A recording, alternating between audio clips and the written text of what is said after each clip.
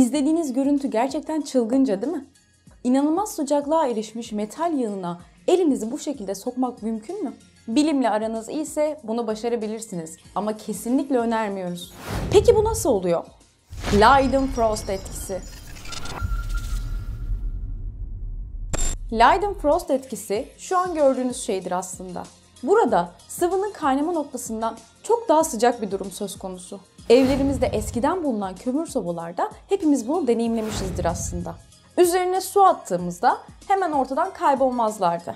Hatta damlacıklar zıplar hareket ederdi. Etrafını saran bir bulut katmanı sayesinde bunu yapabiliyorlardı. Bu etkiyi ta 1756 yılında Johann Gottlob Leidenfrost tanımlamış. Onun için onun ismini veriyoruz. Suyu sıcak bir yüzeye attığımızda hızla buharlaşmaya başlar. Ama o yüzeyin sıcaklığını bir hayli arttırırsak suyu attığımızda inanılmaz bir şey olur. Su damlacıkları hemen buharlaşmaz. Leidenfrost'a hoş geldiniz. Damlacık yüzeye çarptığında ilk olarak temas eden kısmı anında kaynar ve damlacık ile yüzey arasında bir buhar katmanı oluşturur. Ve damlacığı sıcak yüzeyden yalıtarak korur. Tabi yüzey üzerinde belirli süre daha kalmaya devam ederse tamamıyla buharlaşacaktır. Ama Leidenfrost noktasına gelmeyen su damlacığından daha yavaş kaynayacaktır. Sıvı kendi kaynama noktasından daha yüksek bir ısıya sahip yüzeyle temas ettiğinde aralarında bir buhar tabakası oluşup ısı engelleyicisi görevi yapmasıyla sıvının aniden ısınmasının bir süreliğine bile olsa durdurulmasına Leidenfrost diyoruz yani. Su için Leidenfrost etkisi yaklaşık 220 santigrat derecelerdedir. Bilim insanlarının bu fenomende ilgisini çeken bazı durumlar oldu. Mesela hareketleri. Damlacıkların hareketlerine yön verilebilir miydi? Yön vermeyi başardılar. Hatta Leidenfrost labirentleri oluşturdular.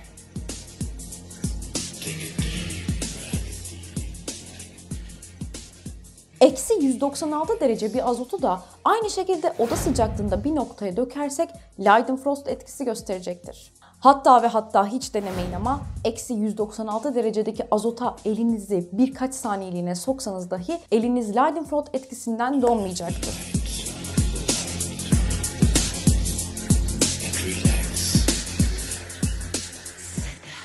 Yanmaz, yapışmaz, donmaz.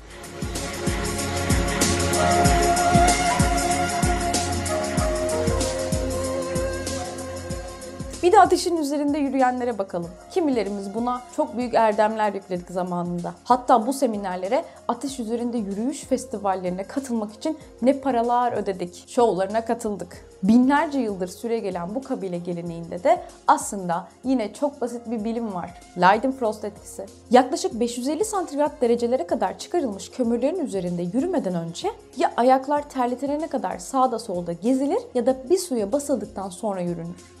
Tüh be, bütün güzemi bozduk ha. Bununla ilgili deneylerin videolarını aratıp bulabilirsiniz. Burada ateşin üzerinde yürüyecek halim yok. Şimdi video başındaki abimize geri dönelim. Gerçekten termodinamik ve fizik kurallarımızı iyi biliyor. Yoksa buna kimse aklı selimken cesaret edemezdi. Hoşçakalın.